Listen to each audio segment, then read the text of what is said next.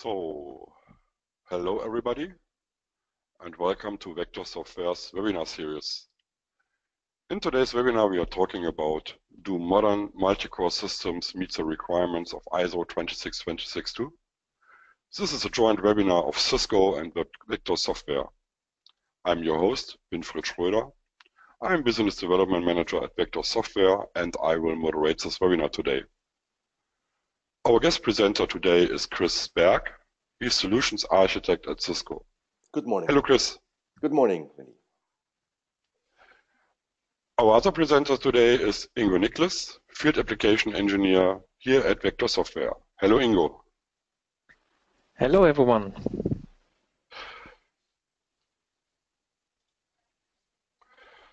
So before we want to start, I want to make sure that all attendees are able to follow the webinar today. We recommend to use a free audio broadcast with your speakers or headset, but you can use also one of the international phone numbers to connect to this webinar. All attendees are muted. You can ask questions using the questions window at any time. We will answer all received questions at the QA session at the end of this webinar. Our agenda for today I'm going to start with a little overview about Vector software and our solutions. Chris will then tell you some important things about the use of multi-core systems in ISO 26262 environments. After that, Ingo will give you a live demo. At the end of this webinar, we will answer all questions you send us.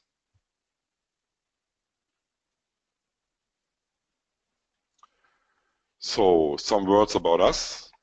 Vector Software is a US-based company it was founded in 1990 by two software engineers. They tested software that had to be certified for DO 178. Since the testing of software is a rather unpleasant but also a very generic task, they came up with the idea to write a program for automated, automated software testing. In 1994, the first version of VectorCast was published. Well, why is this information important? VectorCast has been designed from the very beginning for the testing of embedded software, and it's always used for testing of safety critical applications. Where you can find us, our headquarters is located in East Greenwich, Rhode Island.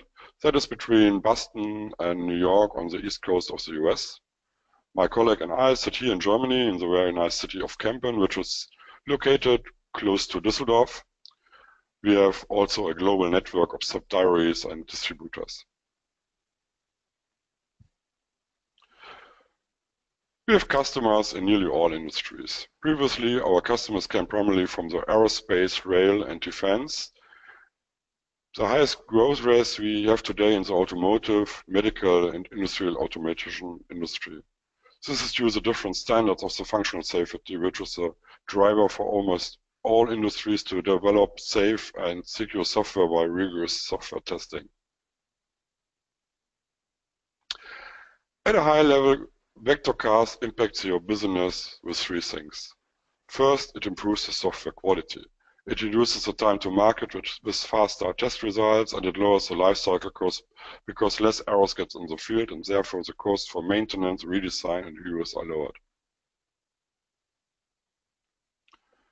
Some of our key technologies are unit and integration test automation, code coverage, continuous integration with change-based testing, agile test-driven development support, and embedded target support.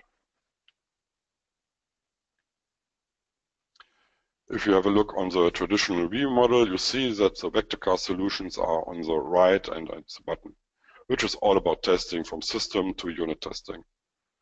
What you can see is that VectorCast integrates with all of the tools you probably have in your ecosystem. For example, tools for requirements management, LM tools, modeling tools, or tools for static analysis. As you can see too, VectorCast integrates to nearly all embedded compiler in the market. The way we are looking at software development and software test in particular has an evolutionary approach. Some organizations are doing nothing or very little, but everybody is doing some kind of system testing and probably checks code coverage to see what, where they are with their testing. We help organizations to get started on the left and move forward to the right side and optimize the quality of their software. So that's it from my side. I would like to hand over the microphone and the screen to Chris from SYSGO. Thank you, Vinny. So let me switch over here. So good morning, everybody, in this uh, webinar um, about uh, how do multi-core systems, you know, uh, work in the ISO 26262 environments. Um, I'm a solutions architect at um, SYSGO, and I'm responsible for the automotive customers and the technical communication uh, to the our customers out there. I will also start off with a short company overview so that you get an idea of what um, SYSGO is doing. Um, we were founded in uh, 1991.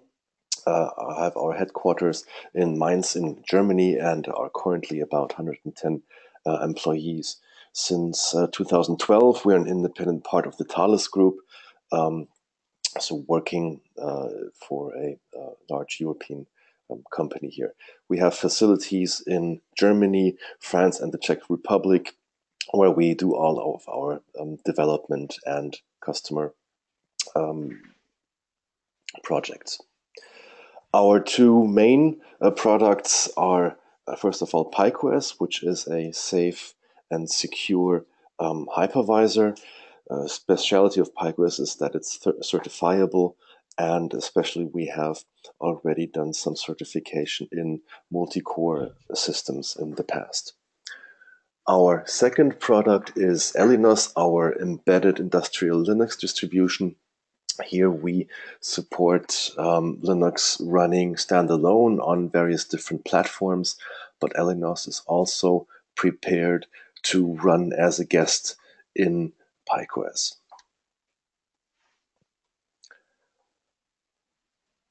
The third part of our business is um, services. So we uh, provide services to our customers in the area of BSP development, but as well as support during the complete phase of a certification if that is required.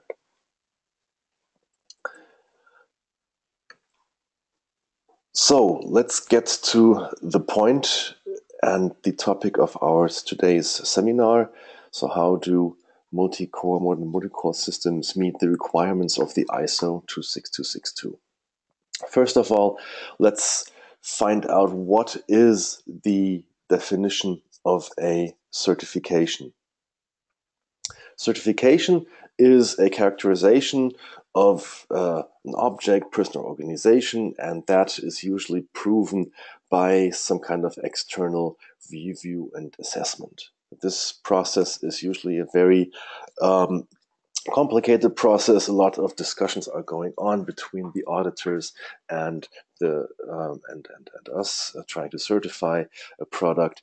But usually we get into agreement, and uh, afterwards we have a successful project. Certification is quite complex. It's not writing the source code, which is the complex part of certification. It's more all the things you have to do um, around um, to get uh, to the point where you can really certify.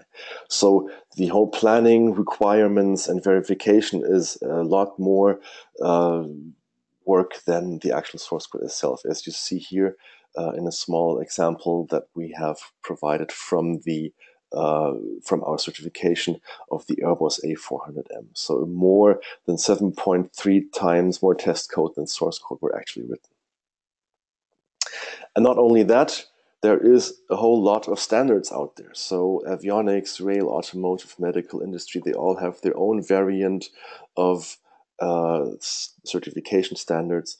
And we have to cover all of these to certify, to help uh, customers certify in all these different areas. So what do you need to be certified? First of all, there's organizational needs. You have to have a quality management and quality assurance uh, processes in place. You have to um, have life cycle processes and other management um, process in place to have an organizational setup that supports certification. Then there's the project and the product side.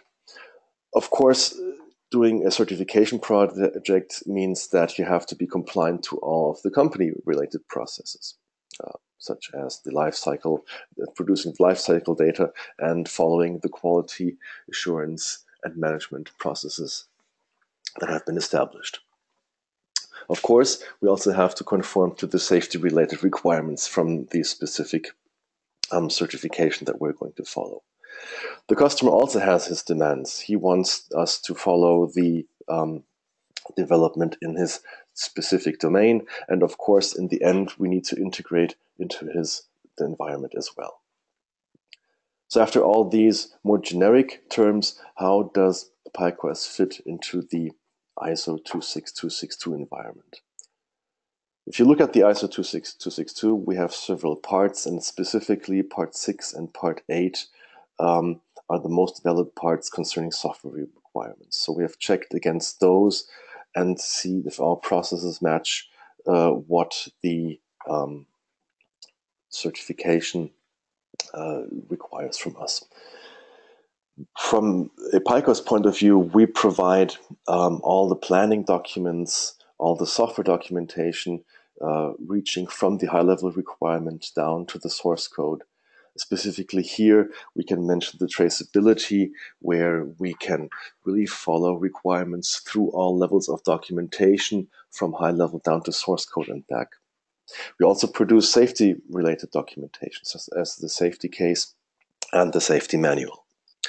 So PikeOS provides all the necessary support to really um, fulfill the 26, ISO 26262 requirements. Putting it in a different view, here you see the traditional V model, specifically here augmented with the chapter numbers of the ISO 26262, and we've checked that all of these different parts are fulfilled by the certification kit that we can provide for our um, safe and secure hypervisor. PikeOS has been certified to a lot of different standards already, specifically in the transportation area. Uh, we have done a multi-core certification. We have a project uh, that has been certified to the ISO 26262 already, and then others in the avionics and industrial area. Keep in mind that all this is done with the same product, so we do not have different PikeOS versions per, um, per, per, market, but all this is coming from the same code base, uh, which enables us to um, yeah, carry over uh, all the testing and uh, planning uh, and, and, documents from one standard to another and only adapting to the specifics of the um, industry requirements. So coming to the example I want to show today, um, how does a multi-core platform behave or how what things do you need to consider when going to a multi-core certification? Here's an example of a very simple just dual core setup. It's pretty standard. Most of you might have seen a similar kind of, um, of architecture. We have two cores here uh, sharing a level 2 cache, sharing uh, the main memory. And um, at first sight, the question is so, what are the concerns a certification authority can have against or for such a system?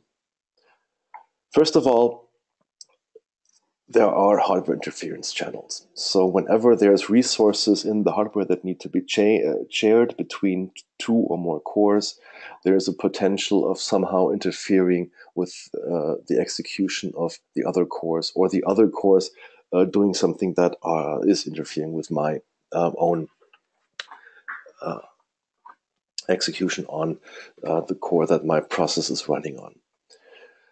Then there's the SoC design. Uh, many of the today's multi-core processors are big system on chips with a lot of peripherals, mostly done targeted at at, at consumer um, projects, so not really um, targeted for industrial or safety applications.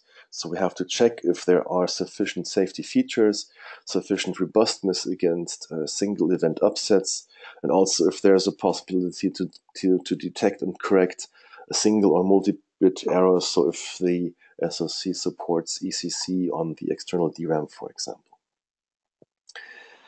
Design assurance is also a big topic. Sometimes uh, SoC vendors do not disclose all the documentation of their processor design. So there might be undetected um, interference channels that pop up during testing or um, lifetime of the product. So this is also something that you need to keep in mind when certifying a multi-core system. And then the in-service history, well, of course, we all know multi-core designs since a couple of years now, but they have not been so widely used as single-core systems. So here, there's still experience that is being built up um, for uh, for multi-core systems here. So coming back to our example, our little dual core here. Um, so what are the interference channels we can find here? First of all, let's look at the caches. The level 1 caches are per core, so they are uncritical in this regard, but the level 2 cache is shared between the CPU.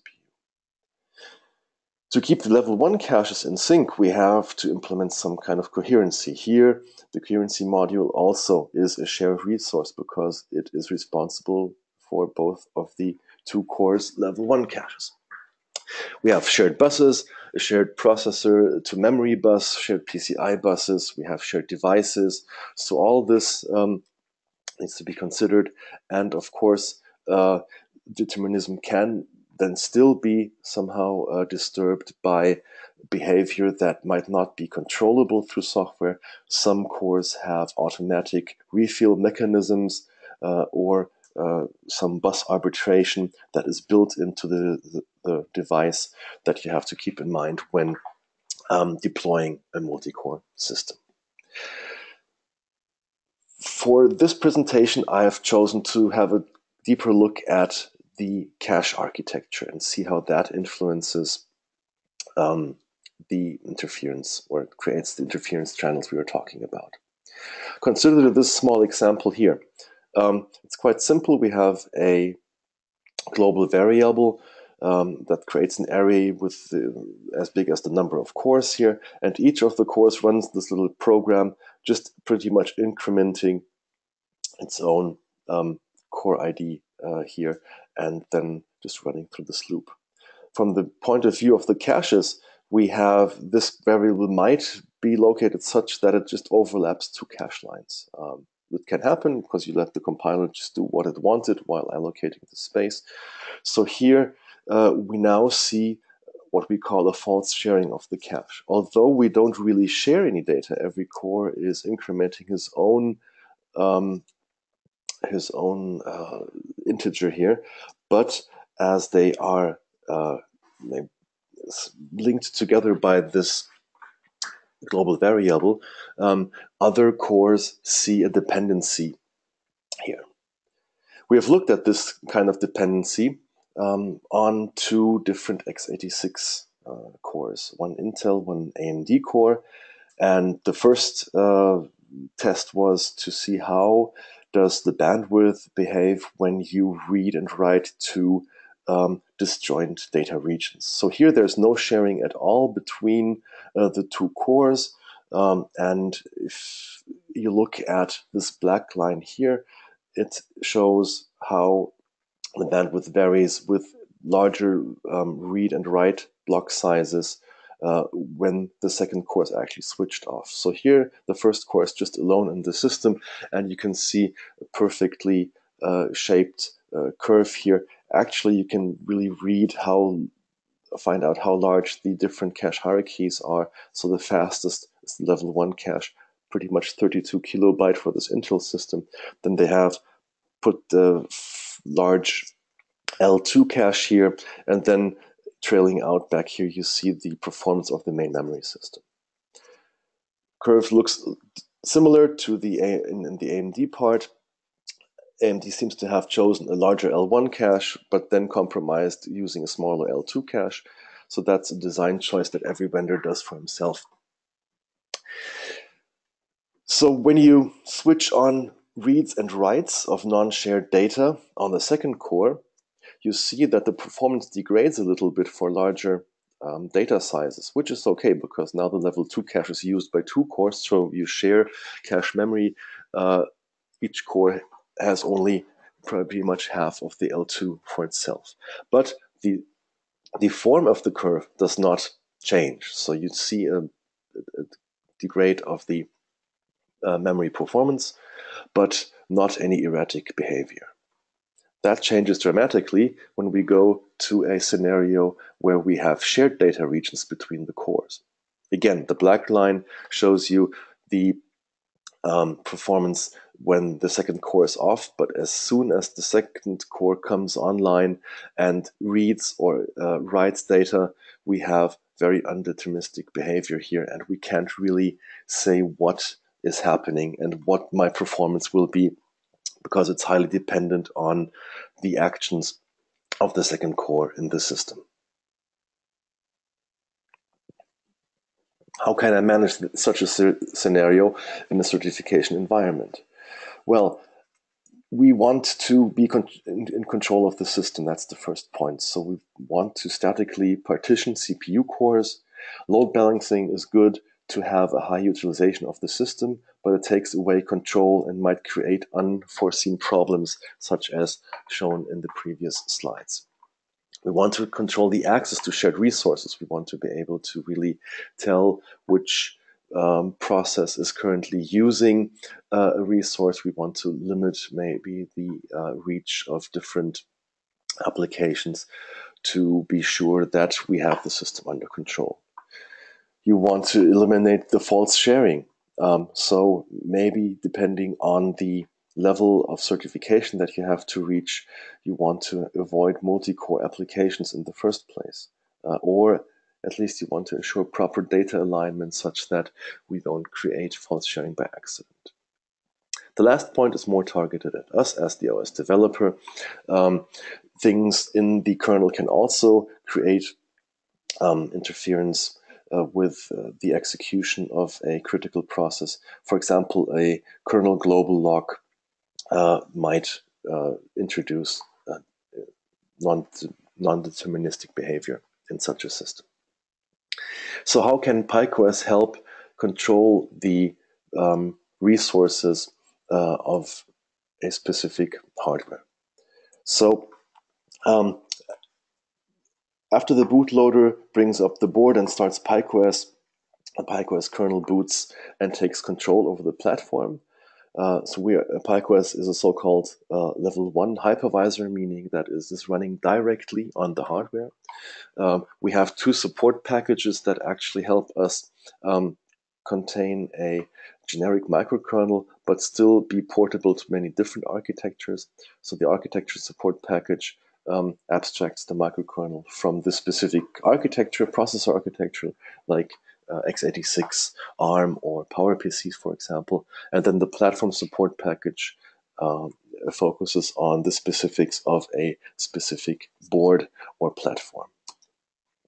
The PikeOS system software is the second part of our uh, RTOS. Here uh, we have all the different mechanisms to create uh, partitions, to monitor the writes and the configuration that you have uh, set up during configuration time.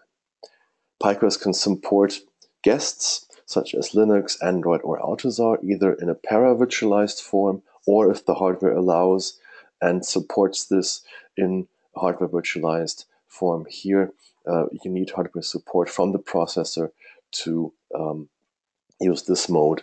Uh, it gives you a performance benefit, but pretty much only the larger ARM cores or x86 cores have this uh, support.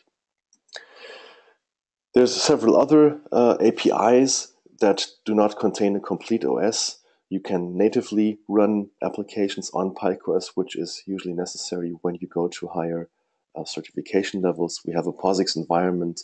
You can have a system partition that controls the whole environment, is able to restart different partitions independently of others and we can put drivers into partitions, which is a good uh, place for them to reside because if a driver uh, has a problem, it will not affect any of the other parts of the system. It will be contained just to this partitions.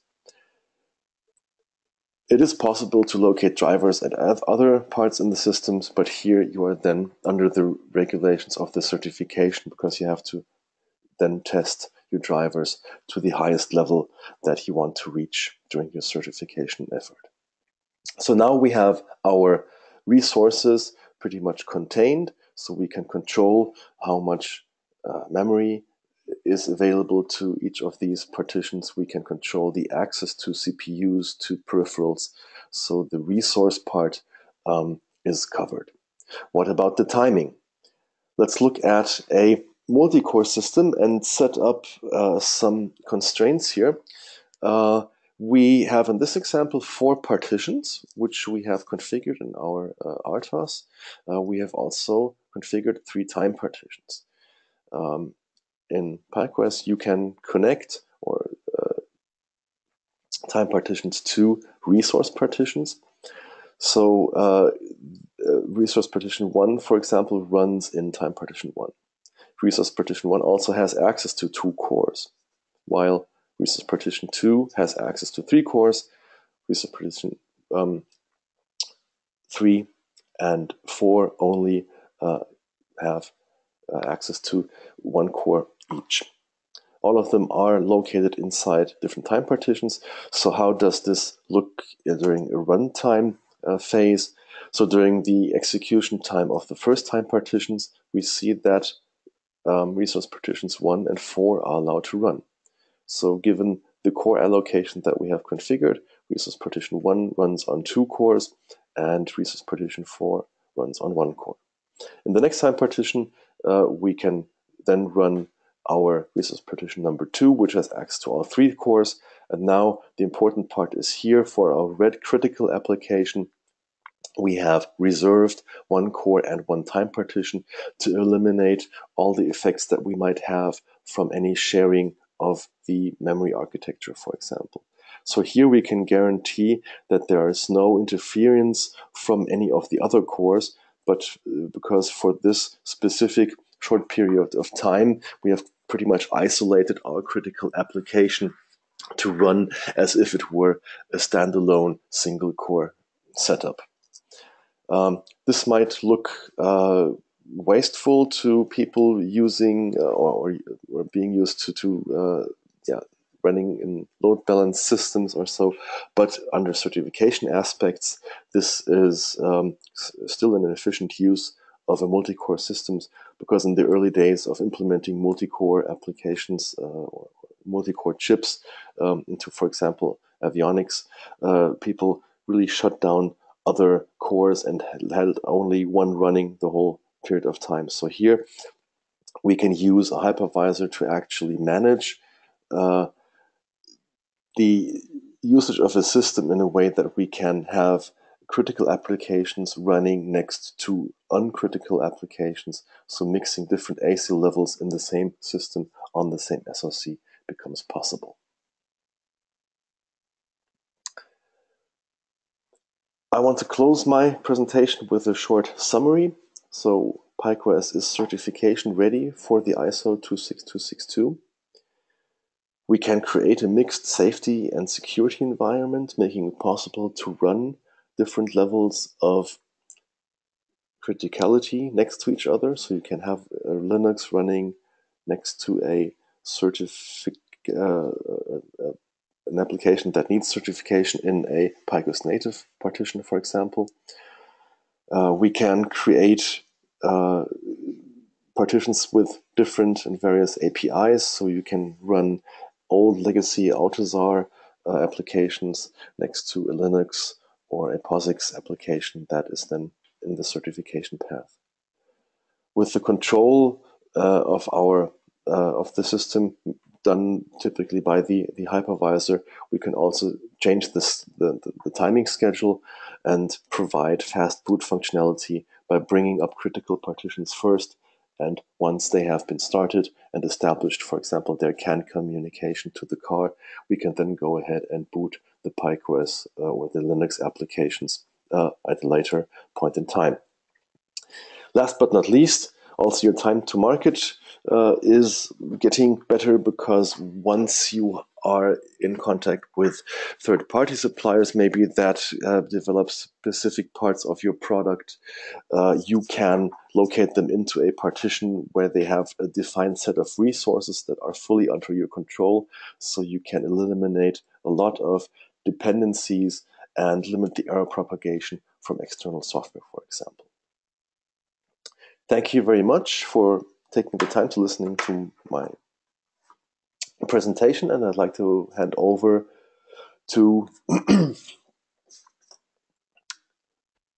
Thank you, Chris, for your presentation. I will give this presentation now over to Ingo, and you see already his lucky face on your screen. Thank you, Chris. Thanks, Winnie. Yeah, my name is Ingo Niklas. Um, that's the name to the lucky face. I'm field application engineer at Vector Software. That means I'm responsible for um, technical support for VectorCast. I'm also doing um, trainings and going to exhibitions and doing demos to prospects. So today I want to tell you something about how VectorCast can help you in this um, PikeOS environment. Um, what I got in, in preparation of this webinar was um, I got the uh, PikeOS license and I got um, Codeo, the IDE, and um, the question is how can we help? So there are different areas in this PikeOS architecture where you can add your own um, source code. There's this application part, there are other drivers or kernel parts that can be extended with your own code. And the question is how to how to help with testing. And one thing that VectorCast can help with is we can provide code coverage. So usually when you do system level testing, when you test the functionality of your um, application, when you test against requirements, for example, um, then you test the whole application in total on the embedded hardware, but you have no idea which, which line of code is executed usually, um, or which line of code is not executed. And that's the interesting information, we want to know which line was executed. How does VectorCast measure code coverage? We use source code instrumentation. That means we add additional lines to your source code.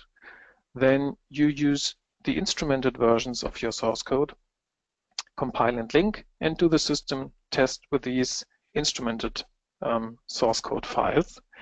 Um, and as a result, we can give you the following. We can give you code coverage information. We can tell you which line was executed, which line was not executed. We can give you code coverage trends. Um, we can show you the lines in the reports. And we can also give you some information on cyclomatic complexity, what's the, the more complex part of your software, and also how well is the, the, the complex part of your software tested. How many um, lines of code were executed in the in the risky part of your software. So those are um, important informations. Um, and what we can also do with this information is we can do something called change-based testing. So the first thing that you can do with code coverage is, um, well, you're, you're free to, to measure the, the code coverage in the way that you want. You can, for example, have only one code coverage file from all the system testing that you did can be a system test of three weeks and just one code coverage file.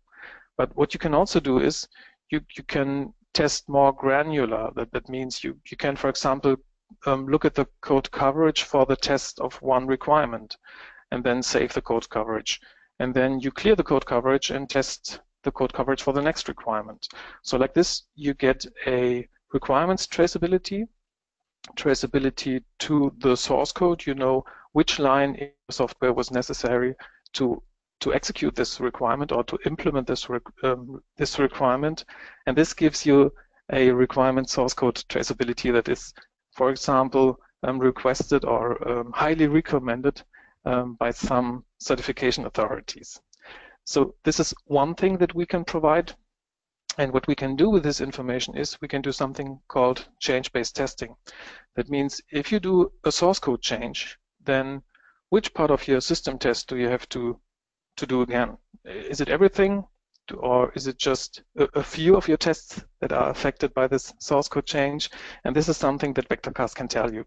So from the source code change, we know which system test needs to be re-executed, and maybe it's it's just 10% of your system tests, so you can save 90% of the time, and you don't have to execute all your system tests again. And if you think about uh, manual system tests and, and how much effort it is to to do them, and um, then this can can save uh, some time in in your testing process. So this is how Vectorcast can help with system level testing, we can give you code coverage information. And the other um, question was, how can we help with unit or integration level testing? And in unit testing, it's it's not so relevant that the, the hardware has uh, multiple cores. The, the unit test application usually runs on one single core. And then um, what I got is um, Codeo and, and PikeOS, and um, the IDE comes together with QEMU, the, the uh, quick emulator. And what I will show you now is how to run a unit test um, application or how to do unit testing um, with PikeOS, but I'm not using real hardware, I'm using the quick emulator. Then um, Vectorcast, um, the unit test executable runs as an um, as a native application in this user space. And what do we need to build this unit test application? Well, the first thing is um, you pick a file that you want to test, usually isolated from the rest of the code. And then Vectorcast builds all the, the framework around this, this uh, C file and that builds the unit test executable. We automatically build the test driver with a main and with a code that call the function in this uh, C file. Vectorcast also builds automatically stubs or mocks or fakes or however you want to call them. Um, and those are smart stubs. You can tell them to, to check values, to check parameters that are passed to the stub, and you can tell the stubs to return specific values. And then you're also free to add real code like um, library functions or um, everything that comes from your compiler, malloc, string compare, whatever, or any startup code that might be necessary to, to boot up the hardware. And um, then the real test data is separated from the unit test executable. We have a data-driven um, unit test executable, and um, the, the unit tests can be executed on PikeOS, on the embedded hardware, or on the quick emulator. And of course, we also have this functionality, this, this change-based testing. So if you change source code, we can tell you which unit test is affected by the source code change and also which test case is affected by the source code change.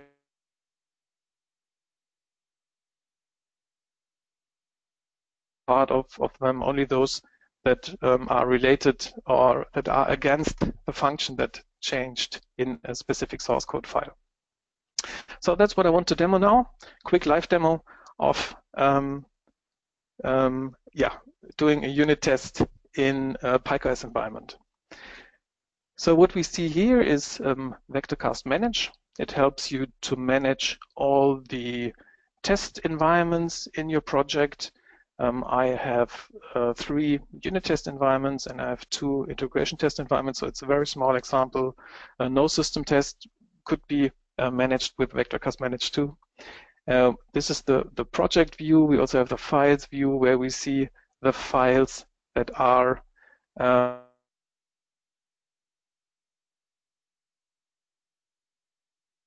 and look at the code coverage um, that we already achieved in our testing efforts.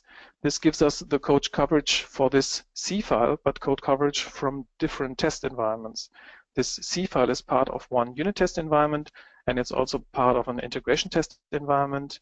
And we can show the aggregate code coverage from all the testing efforts on this one C file. For example, we see uh, green lines for lines that were executed uh, red lines for lines that were not executed. And if we wanted to increase code coverage, for example, we want to execute this steak part, then we can add an additional unit test. We can um, open the environment file, the unit test environment file, or the unit test environment on that file, and look at the functions that are implemented in this file. We see that there already are some test cases. Um, a test case is just a call of a function. We have access to the interface parameters. We have access to global variables. Um, we have access to the stubs that VectorCast built. We can tell the stubs to verify values or to return specific values. So if we wanted to, to exercise the steak uh, case, we can just duplicate the test case um, and then change um, this entry from chicken to steak and then re-execute. And now this executes the unit test application as a native application in PikeOS. So we really execute the code, let's say on the real hardware, but in my case, it's on the quick emulator. So on, on QEMU, we see that the job is running and it is finished. And we see an execution re, um, result. We call the function that we wanted to test. We have some events for the stops that were called, and we, we did some checks and passed all the checks. So we're happy. We should see additional code coverage now also for the steak part in the um, source file or in the code coverage viewer. Um, so what happened under the cover is we called a batch file that executed um, this unit test executable in PikeOS, and, and this is the output of the batch file. So we see um, that, that we did some copying um, somewhere a quick emulator is started. I think this is the line where, where QEMU is started and where the um, native application was um, executed in PikeOS. Then um, the native application produces some output and we store this output in a file and this file is used in, in the VectorCast GUI to build the reports and to show the code coverage. So we can close this unit test environment, then uh, we can integrate the new test case into our managed environment and we can, for example, um, now do an incremental rebuild. Um, let's say let's let's execute all test cases that need to be executed, or rebuild all environments that need to be rebuilt. And um, fortunately, there's nothing to do. We did not change any source code, so we we did not need to rebuild anything, and we can also keep the results of the test cases that we already executed. So if we just change one test case, we would have executed just one test case. Um, when we look at reporting, what do we get? Well, we have a widget that shows you code coverage on your project. Um, for example, all the files that are part of your um, test environments. We see the functions. We can um, sort. We can also sort for um, cyclomatic complexity. So we can focus on the most complex functions, for example. We can also filter and say only show me um, functions with a cyclomatic complexity more than three and code coverage less than 30% and then focus on, on those functions and increase the code coverage and increase the number of test cases, for example. Um, if you're more interested in reporting, then we have something, um, we have a, a, dashboard that can present you all the, the testing effort or all the testing data that, that we have uh, in, in the project. And um, the dashboard can run, for example, um, on your build server. Uh, if you use continuous integration, you have a build server, um, then you can use the, the dashboard on that build server and the clients can connect to the build server and, and look at the information that is presented. And the information can, can look somehow like this. It's just a small application. It's it's not the best example, but it gives you an idea of what we can show. We, we can show you some some metrics, how many functions, how many statements, what's the code coverage, what's the average uh, complexity, but sometimes it's not the average complexity that you're interested in. It's, it's more the highlights, the the most complex functions, the, the most complex uh, files. We see that we also have um, complexity um, sorted uh, by functions. For example, here we see which is the most complex function. And in the middle, we see how good our testing is related to the code size. That's what the block on the left side shows us, or related to the cyclomatic complexity. That's the blocks on the right side. So not necessarily a, a very big block is also a very complex block, but complex blocks are hard to test. So in our example, the manager.c file is not only big in size, it has many statements. It's also the most complex file in our source code. So we should focus our testing efforts on this file, and we can also look more granular into the file and see which functions are tested well and which functions are badly tested or poorly tested. So we see uh, we um, the color tells us that green is well covered code, so usually well tested code, and the the red functions were not executed at all or um, not enough. Um, so we should increase the number of test cases on those functions. So this is one example of how we can present the data in your project or in, in your in, in any flavors of test that you're doing on, on your code. We can also look at, for example, um, we, we can do a risk analyze um, depending on the cyclomatic complexity. So this is a, a very um, simple application with cyclomatic complexity less than 10. Um, if you have higher complexities, um, cyclomatic complexities like 20 or 30 or 40, then it's it's more likely to have a bug in those areas. And we can not only show you in this pie chart um, how big the, the piece of pie is in, in this area of um, cyclomatic complexity, we can also show you how well this part is tested or covered. So how well are those lines executed. So the, the dashboard has um, different views onto the the data in your test environment and it's also configurable so if you have other ideas of how to present this data um, you can also implement some new um, dashboard views. For example this one shows us results of the static code analyze how many uh, percentage of clean functions in the different C files. So um, um, the, the um, static code analyze did not complain about any functions in manager driver, but there is not one single clean function in manager.c, so maybe we, we should uh, recode parts of the software. So far from my side, that's all I wanted to show. If you have any questions, feel free to add them to the questions panel. And now back to Winnie. Yes, thank you, Ingo and Chris for your presentations. Um, as Ingo said, it's now time uh, for the Q&A session. Uh, feel free to send us questions you probably have using this questions window on the right. I would like to start with Chris. Chris, do you have any questions you like to answer already? Yes, actually, there's quite a few coming in here.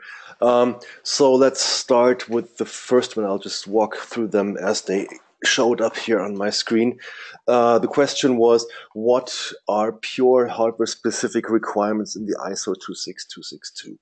Um, well, we're a software company, so I can't really talk a lot about uh, the hardware requirements. Um, usually, if you have a SOC or a vendor that is focused to provide um, his products or SOCs into a safety environment, then they usually also provide a safety manual uh, or a safety case that describes certain setups or uh, issues with their hardware. So that's something that you would get typically from your hardware vendor. In this safety manual, the hardware vendor might require uh, cyclic testing or resetting of registers or other uh, self tests that may be necessary uh, to be implemented in the software uh, design. So here is where we can help again, and this is what uh, we have done for several customers already. Um, to do some checking of hardware, you know, creating CRC checksums over certain RAM areas to uh, to verify if the um, code running there uh, is not damaged in any way. So these kind of things is where we can help and aid uh, in, uh, in, cooperating with the hardware. But generally, um, we uh, as the software component do not are not in the situation where we can be responsible for the complete system setup. So that again goes back to the responsibility of the um, of the uh, producer of the system. So he would need to then come up with requirements for the software in order to uh, make his system uh, safety case uh, valid. So there's a lot of interaction between hardware, software, and system, uh, and uh, so that's think where uh, we have a lot of experience, but we do not define any hardware-specific requirements from our point of view as the software vendor.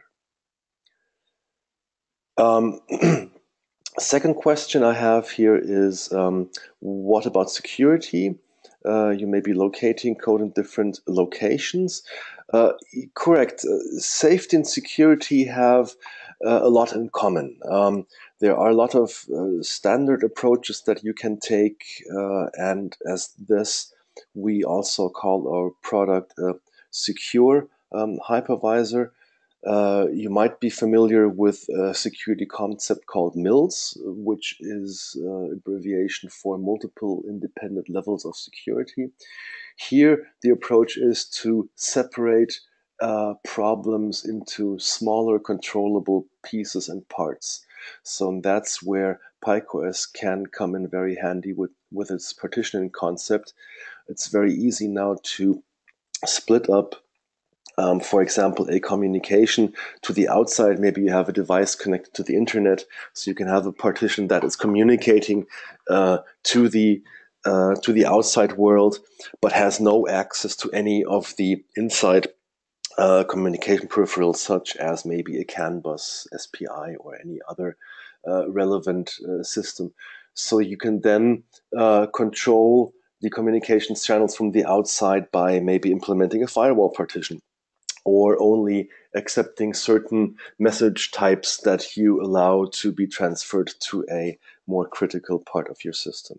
So that's where uh, where a separation uh, OS like uh, PikeOS can come in uh, very handy in supporting security uh, setups. Third question before I hand over to Ingo again uh, was that um, does PikeOS support redundant execution of code and modules with voting? So typically here, uh, people would see you know two out of three voters or or such things like that, where you have systems that run in parallel, and then uh, there is uh, one voting station that then compares the outputs of the individual parts. This is usually a very uh, very project specific setup um, that needs to be dealt with on a case by case basis. We have experience in these kind of setups. Um, we have a solution, for example, for a standard module, which comes from, I guess, MEN, that's the D602, which is a voter system uh, in a standard uh, setup based on x86 systems, usually used in transportation uh, devices such as trains or so. Um, so here we do have an implementation where PikeOS runs um, on both the, the clients and the voting and communicates these events. So uh, it depends on the hardware setup, it depends on your project, but we can support these kind of things. Ingo, do you want to take over with some of your questions? Yes, please. Um, there are some questions. Well, the, um, the first thing I want to tell is that obviously there was an audio issue, so obviously the, sound was not perfect. Um, it's in the in the um, uh, in the chat or in the answers already that we will provide a recording of this webinar. So if you had any audio issues, then sorry for that. Um, the audio on the recording should be fine. Um, then there are some questions related to the fact that I used QEMU, not the real hardware. And um, sorry if I didn't make clear that this is just because I'm a lazy guy. I, I used the, the emulator, the, the quick emulator, because it's much easier to to, to use and to run and to execute test cases. And it's also quicker than using real hardware, uh, which I maybe don't even have where, where I could um, um, run PikeOS. Um, from from the use of, of VectorCAST, it doesn't make a difference. Um, if we run under the cover on the emulator or on the simulator or even in the native environment, or if we change the configuration and run the same test cases on the real hardware, it makes no difference from using the tool. It's just a, a difference in where they the test cases actually run. So of course it is highly recommended or even necessary to run the, the test cases on the real hardware in the end at least once. But while you build the test cases and look for code coverage and, and try to um, to to verify every line or every single line to execute every single line, um, you don't necessarily have to do that on the real hardware. You can certainly use the Quick emulator or any other simulator of your choice and then design the test cases and then maybe overnight change just change the configuration and re-execute all test cases on the real hardware. So of course we can use Vectorcast to run on the real hardware. How this works in detail depends on the capabilities that you have, the, the connection that you have to your hardware. And, and we are very flexible or very configurable in terms of how to connect to real embedded hardware.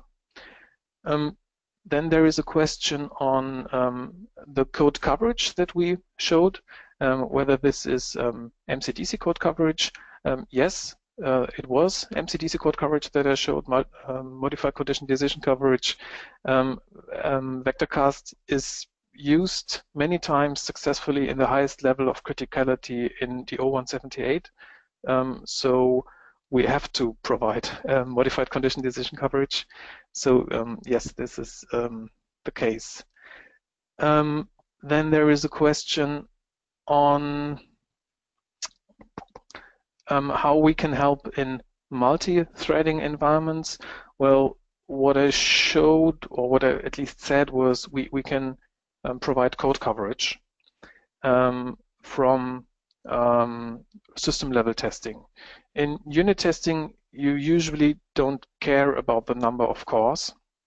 Um, and to be honest, it's hard to synchronize. If, if you go to high levels of testing, it's hard to synchronize um, um, test applications on the uh, on the real system in, in a multi-thread environment. Um, a colleague of mine usually says that um, the the the proof that your application runs correctly in a multi-thread environment will never come from testing. It has to come from design. So um, probably PikeOS has a good design to to um, to verify or to prove that that your application runs fine in multi-threading. It's it's hard to to prove this in in testing, and and so it it's it's very likely possible that that you can configure Vectorcast to run integration level tests in a multi-thread environment and and um, check um, different behavior on, on the real hardware. Um, but the, the question is, what, what does it really prove? Um, because in, in multi-thread environments, you, you cannot really um, prove that, that everything will always work. Uh, difficult answer. Um, there was a, a, question on timing, whether we can um, provide timing information. Well, yes, we can and not not only from the quick emulator, also from the real hardware. And then another question: how Vectorcast differs from other tools. Well, there there is a static code analyze tool in the question. Vectorcast is um, a tool for dynamic um, uh, code execution.